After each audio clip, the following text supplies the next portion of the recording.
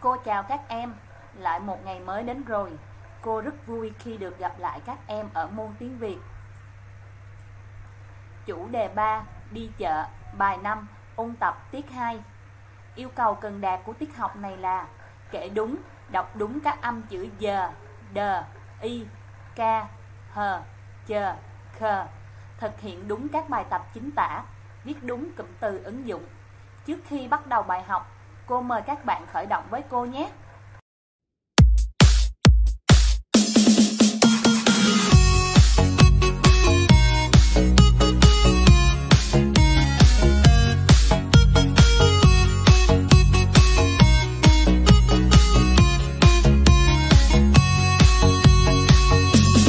Cô dạy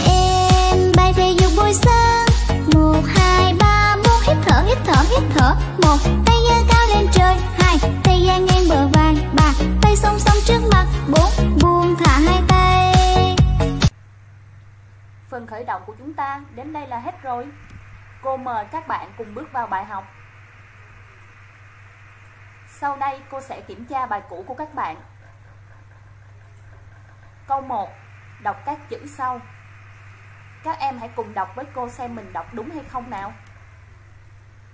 Do, để, lẹ, cho. Cô mời các bạn đến với câu tiếp theo. Câu 2 đọc và nói câu với tiếng dưới đây. Các em hãy bấm nhìn hình và suy nghĩ câu này nhé. Bây giờ các em cùng đọc với cô nào. Hồ Nói câu chứa tiếng hồ Ba mẹ dẫn bé ra bờ hồ Các em nói câu có giống cô không? Nếu không giống, các em có thể nói cho ba mẹ nghe xem mình nói đúng hay không nhé. Tiếp theo chúng ta cùng đến với câu 3. đọc các câu sau. Cô mời các bạn cùng đọc. Chợ ở kề bờ đê. Chợ có hẹ, khế, lê. Qua phần kiểm tra bài cũ, cô nhận thấy các bạn học rất tốt. Cô mời các bạn đến với hoạt động tiếp theo. Bạn B được bố dẫn đi du lịch bằng tàu hỏa. Bạn bơ rất vui, nhưng bố đang phân vân không biết nên dẫn bạn bơ đi đến đâu trước.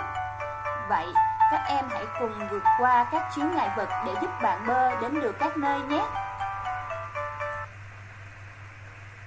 Trước tiên cô mời các bạn cùng đến với hoạt động luyện viết từ ứng dụng.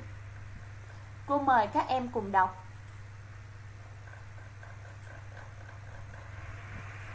Đi chợ Cô mời các em cùng quan sát và nhận xét dùm cô độ cao các chữ. A. Chữ d cao 4 ô ly. Chữ Y, cờ, ơ cao 2 ô ly. Và chữ h cao 5 ô ly. Bây giờ cô mời các em quan sát cách viết. Từ đi chợ gồm hai chữ ghép lại với nhau, đó là chữ đi và chữ chợ. Từ chữ đi sang chữ chợ, cách một con chữ O. Quy trình viết như sau. Đầu tiên ta viết chữ đi. Chữ đi gồm có con chữ đờ ghép với con chữ y. Con chữ đờ có độ cao là 4 ô ly. Từ điểm dừng bút của con chữ đờ ta viết tiếp con chữ y có độ cao là 2 ô ly. Cách một con chữ O, ta viết chữ chợ Chữ chợ gồm có chữ chờ ghép với chữ ơ. Chữ chờ gồm có chữ cờ ghép với chữ hờ. Con chữ cờ có độ cao là hai ô ly, con chữ hờ có độ cao là 5 ô ly. Và viết tiếp con chữ ơ có độ cao là hai ô ly. Chúng ta sẽ được chữ chợ. Lưu ý là thanh nặng để dưới con chữ ơ. Các em hãy bấm dừng hình và chúng ta bắt đầu viết. Các em đã viết xong chưa nào? Cô khen các bạn đã viết tốt. Chúng ta đã vượt qua chướng ngại vật đầu tiên. Bây giờ chúng ta cùng xem điểm đến nhé. À, điểm đến đầu tiên là Hà Nội. Tại đây bạn được ghé thăm nhiều con phố với các làng nghề truyền thống. Nổi bật nhất chính là làng gốm Bát Tràng. Bơ rất vui. Vậy các em cùng giúp Bơ đến với điểm tiếp theo nhé. Cô mời các bạn cùng đến với bài tập chính tả. Câu 1 điền vào chỗ trống giờ hay đờ. Với bài tập này, các em hãy quan sát tranh và làm bài. Các em hãy bấm dừng hình và làm bài. Chúng ta cùng sửa bài.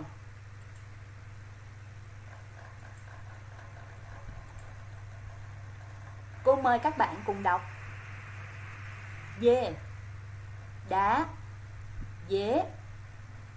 Các em làm có đúng không? Cô khen các bạn làm tốt. Bây giờ cô mời các bạn cùng qua câu thứ hai. Câu 2 Đánh dấu tích vào ô trống phù hợp. Với bài tập này, các em hãy quan sát tranh Và đánh dấu tích vào ô trống phù hợp. Hổ hay hổ? Đúng rồi, đó là hổ. Chúng ta cùng đến với tranh tiếp theo. Kề hay kệ? Quá giỏi, đó là kệ. Chúng ta cùng đến với tranh tiếp theo nữa nào. Chả hay chả? Chính xác, chả. Hình cuối cùng nào các bạn? Khỉ hay khỉ? Đúng rồi, đó là khỉ. Các em làm bài rất tốt. Chúng ta cùng xem thử chúng ta đã dẫn bạn bơi đi được tới đâu nào. À, điểm đến tiếp theo là Huế. Huế nổi tiếng với các công trình kiến trúc, trong đó nổi bật nhất là Kinh Thành Huế. Bây giờ cô mời các bạn cùng thư giãn.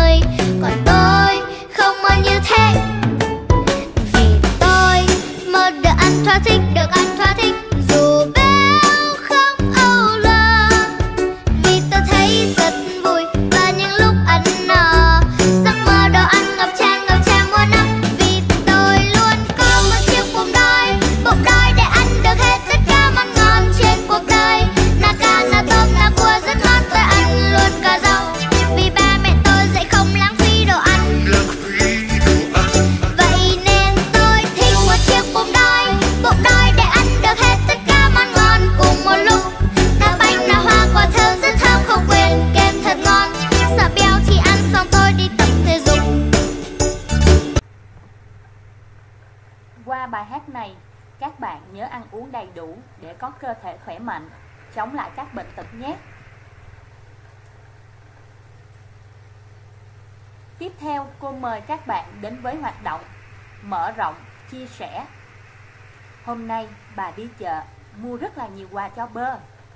Chúng ta sẽ cùng giúp bơ kiếm xem đó là những món quà nào nhé. Trò chơi đi chợ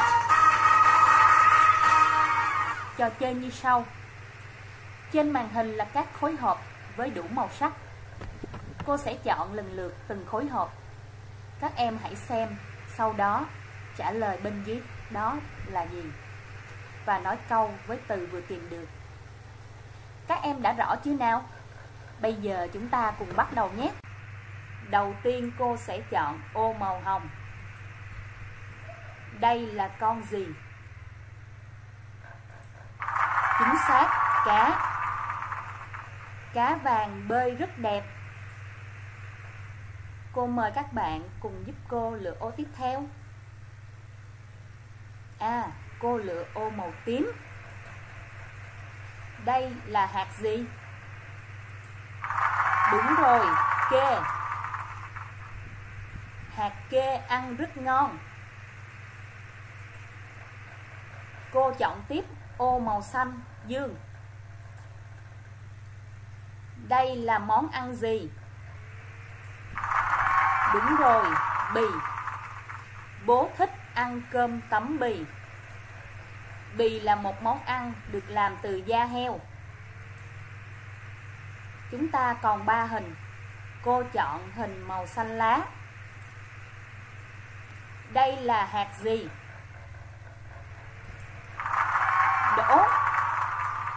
Mẹ đi chợ mua rất là nhiều đỗ. Đỗ miền Nam còn gọi là đậu. Chúng ta còn hai hình. Cô chọn ô màu đỏ. Đây là quả gì? Chính xác, quả chà la. Em thích chà la. Ô cuối cùng, ô màu vàng. Đây là quả gì? Khế. Trái khế ăn rất chua. Các bạn đã mở được hết ô chữ. Ngoài các câu gợi ý Các bạn có thể nói thêm các câu khác cho bố mẹ nghe nhé. Nhờ các bạn, bạn bơ đã kiếm được các món quà của bà. Bây giờ chúng ta cùng đọc lại các từ. Cá Khế Kê. Bì. Cha la. Đỗ. Các bạn đọc rất tốt. Cô khen các bạn. Qua trò chơi, Các bạn nhớ, Khi nhận được quà của người lớn, Chúng ta cần cảm ơn. Bây giờ cô mời các bạn cùng đọc, Đồng dao nhé.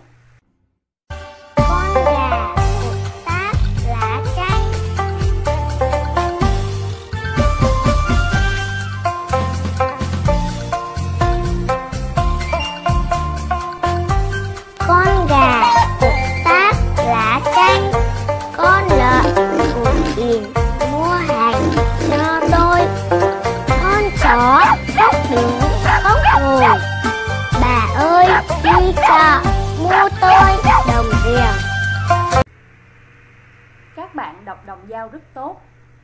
Chúng ta cùng xem điểm tiếp theo. Bố và bạn bơ đã đi được tới đâu? Quá tuyệt!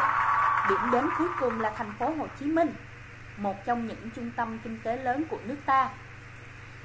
Như vậy, chúng ta đã giúp được bơ cùng bố đi tham quan ba điểm Đó là Hà Nội, Huế, thành phố Hồ Chí Minh. Qua trò chơi, các bạn lưu ý là chỉ đi du lịch khi đã hết dịch bệnh và luôn đảm bảo nguyên tắc 5K. Tiết học hôm nay đến đây là kết thúc rồi. Ở nhà, các bạn nhớ nói những câu có tiếng chứa âm đã ôn trong tuần. Chuẩn bị tiết kể chuyện bé và chị đi chợ. Cô chào tạm biệt các bạn và hẹn gặp lại.